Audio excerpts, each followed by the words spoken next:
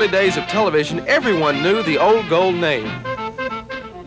Old Gold Cigarettes present Ted Mack and the Original Amateur Hour. Before 1937, hardly anyone had heard of Old Gold cigarettes, and its owner, Peter Lorillard, had tried all kinds of gimmicks to light a fire under sales. It was a puzzle contest that finally struck a match, a $100,000 prize up for grabs. Today, it would be like offering $700,000 free and clear. At the time that the Old Gold Puzzle Contest appeared in newspapers across the country, there were very few giveaways that big. There was the Irish Sweepstakes, a popular but illegal lottery run under the table, often over the bar. So when Old Gold urged you can win a population idle for years by unemployment, scrambled at the chance. There were 90 rebuses in all. Rebuses are elaborate cartoons harboring clues like this one. Ho plus race, gur, add an E and Lee, and you've got the answer. Journalist politician Horace Greeley. Millions wrestled with the puzzles, mailed the solutions along with 45 old gold wrappers to Lorillard in New York. The headlines hit, a winner chosen, and by the time 2 million entries had been whittled down to 25-year-old Navy cadet William R. Staggs, America was hooked on contests.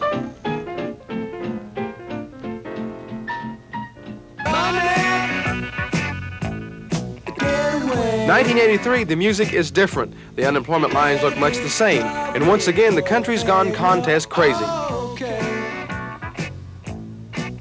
I won a quarter of a million dollars. And I hit the jackpot in Wendy's Casino Express sweepstake. Those 25 words or less in jingle contests began to decline in popularity 10 years ago, about the time state lotteries emerged. It seems like the quick and easy sweepstakes, like the instant win scratch off game cards, appeal much more than poring over a puzzle or jingle. We won 23 flights. We won 100 cruises. We couldn't possibly have used everything. We gave some away. We used some ourselves. We sold some. In many cases, the, you can actually sell. My biggest prize, the most exciting prize, uh, was the pony that I won. I love it. I love it. Do you have a contest for me? I'm Dean O'Lawley.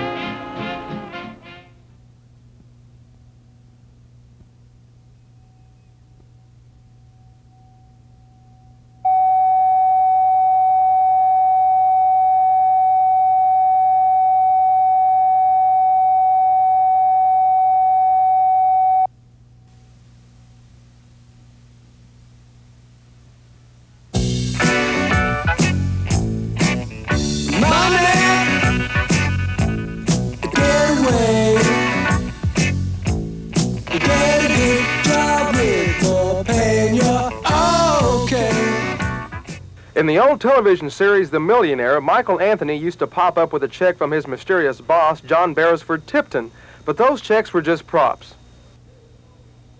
This will be the first time in my life I'm actually about to hand out the negotiable, honest to God article. Last July, a real check was presented to Robert Healy, a 45-year-old New York State tax arbitrator. Out of 3.3 million entries, Healy's was drawn in the Dr. Pepper Million Dollar Sweepstakes.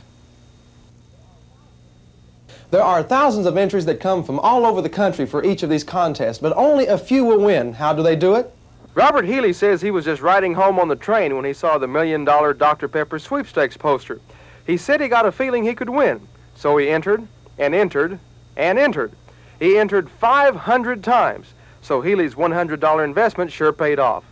Now his only problem is sheltering the $40,000 a month he gets for the next two years. I won this in a contest sponsored by Family Circle. I won two rooms of carpeting, this and another room, when I wrote why I wanted a uh, brand of carpeting. Well, this is one of four refrigerators that I won. I sold the others.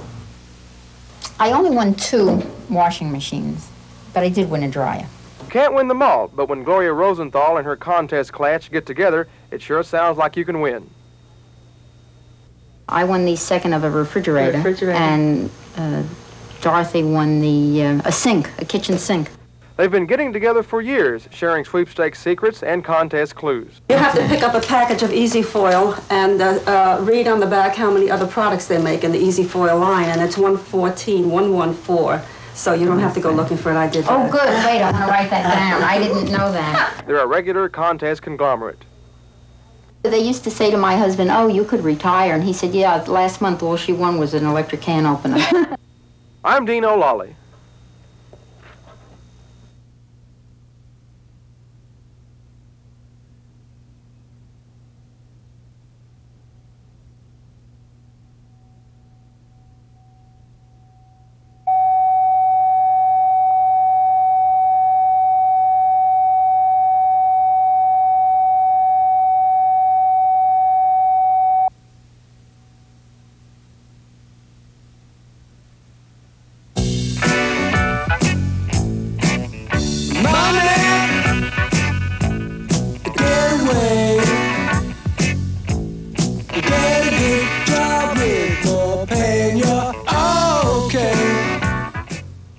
Inveterate contesters will tell you you can't make a living by entering contests and sweepstakes, but you can make a living running them. Over 10 million entries for 100 contests pile up in Don Jagoda's agency, one of a dozen or so independent agencies that conduct contests for sponsors. You have to wonder, though, why so many people enter these contests when the chances of winning anything in any given contest are pretty slim. Just the opportunity to change your life, to change your luck, to become Cinderella queen for a day is what we're talking about in the sweepstakes and the game business. It was a simple business when Don Jagoda started 20 years ago. Today, the Jagoda Agency grosses $3 million a year as one of the top agencies in what is now a highly specialized growth business. These days, the clients want to sponsor sweepstakes, not skilled contests. The sweepstakes business is heading right to where that space shuttle is heading, all the way up there sweepstakes are on the rise, and they will continue to be on the rise because everybody likes the idea of getting something for nothing. Contest popularity has spawned some interesting spin-offs, like the Contest Bulletin and the Contest Newsletter. They'll tell you who's sponsoring which contest, the rules, occasionally they'll even give you the answers. Now one of these newsletters is the largest selling newsletter in the world. It has 750,000 subscribers, and that's telling sponsors something big. Other than saying hey, shopper, come over here, save 10 cents, you say, hey, shopper, come over here, maybe you can change your life. Once the sponsor decided to make that offer, the contest agency shifts into gear. It tailors one of six basic sweepstakes to the needs of the sponsors. Add promotion, and the sweeps are on. Entries flow in, are shifted into trays, thrown into a drum, and usually, without much fanfare, are drawn.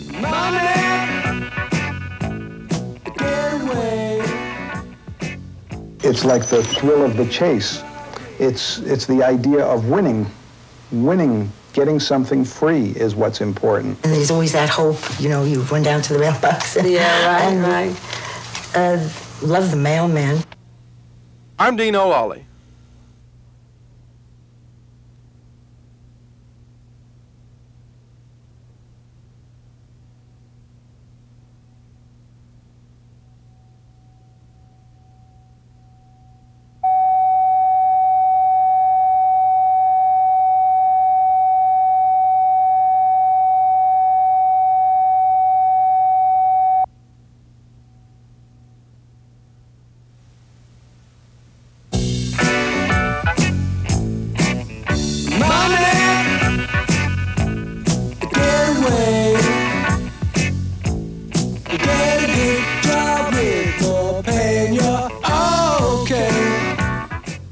So many sweepstakes running these days in the mail, in the supermarkets, and as one contester says, I can walk through a store, a supermarket, and they, they jump out at me. And they're, they're right there. You, you know, I, I see them because I'm aware that I'm into contests and I need blanks and that there's always something new. So they, they seem to just shout at me, come and get me. you know. The trick is to be is being selective. Uh, it's better to enter one good sweeps than a hundred bad ones. Jeff Sklar, a computer programmer, claims that he and his fiancee, Robin, have won every sweepstakes contest they've entered because they've planned out a strategy. Jeff prefers the instant game cards. No purchase is necessary. You can write to the sponsors for them, and by law, the odds must be printed on the back. The sweepstakes here, $10,000 in prizes are being offered to the entire country over a span of eight months. That's $10,000 in eight months. This sweepstakes, this is the one run by Air Florida that we won, had $7 million in prizes offered over six weeks and only to the residents of six states. The contrast here is, over, is close to 1,000 to 1 in the profitability of these sweepstakes. That's the key to being selective. Picking the best contest doesn't even get you halfway there. You still have to enter. And for serious sweepstakers, there is a method to the mailing. There's no magic number of entries. The regular will tell you at least 15 and as many more as you can stand to fill out. People say, why didn't you do more? It gets boring after a while. You can't, you can't do it forever. You listen to music and you can do it for a time, but you can't sit there and do 20 million entries. Since the judges pull a few letters out of each mailbag, send entries on different days from different locations. Some people decorate their envelopes wildly, trying to catch the judge's eye. But that could backfire. Most regulars keep it simple. Size up the contest, check the odds, make sure the prize is something you want or something you can sell. 40% of all entries picked from the drum are disqualified for not following the rules. If they say 3 by 5 cards, if the rules say hand print, nothing else will do. A lot of people say, "Oh, you're so lucky." And and I know, and most of the time it's not luck, it's more than that, it's perseverance. Uh, I like what, what a lot of people say is, uh, boy, you are lucky. I never win anything. And I say, uh, what have you entered? And they say, nothing. nothing. I'm Dean O'Lally.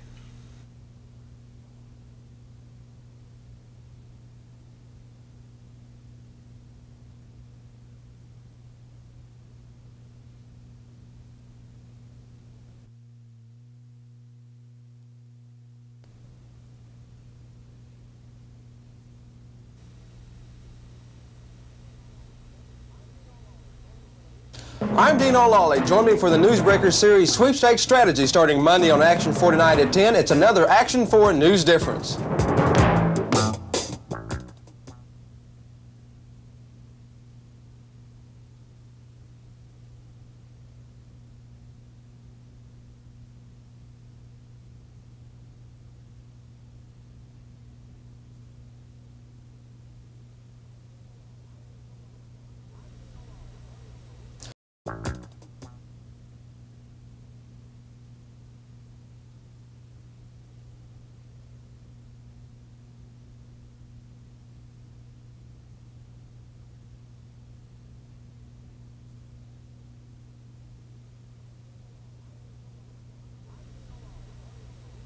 I'm Dean O'Lally. Join me for the Newsbreaker Series Sweepstakes Strategy this week on Action 49 at 10. It's another Action 4 News Difference.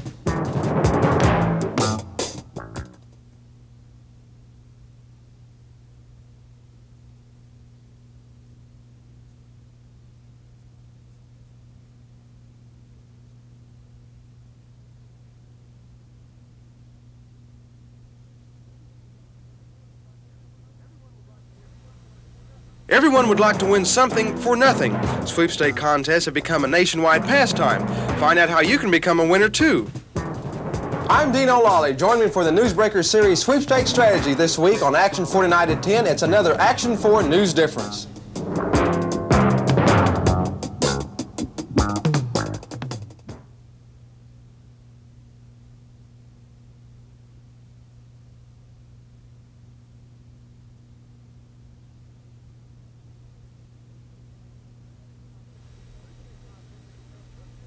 Sweepstake contests have become big business and it's become a nationwide pastime. From housewives to business executives, everyone wants to win something for nothing. Find out how you can increase your odds and become a winner. I like what, what a lot of people say is, uh, boy, you are lucky. I never win anything. And I say, uh, what have you entered? And they say, nothing. nothing. I'm Dean O'Lally. Join me for the Newsbreaker Series Sweepstakes Strategy this week on Action 49 at 10. It's another Action 4 News Difference.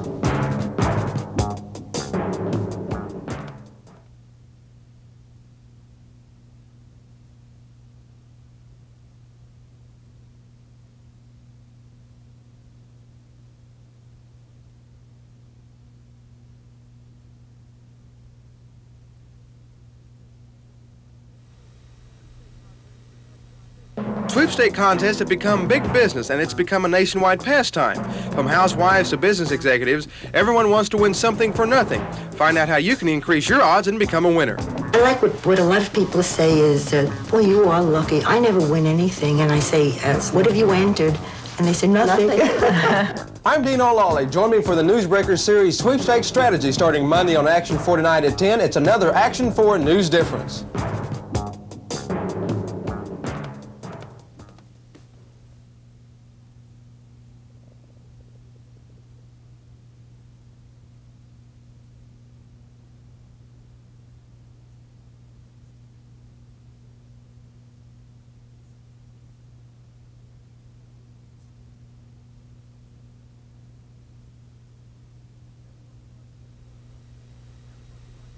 Everyone would like to win something for nothing. Sweepstake contests have become a nationwide pastime.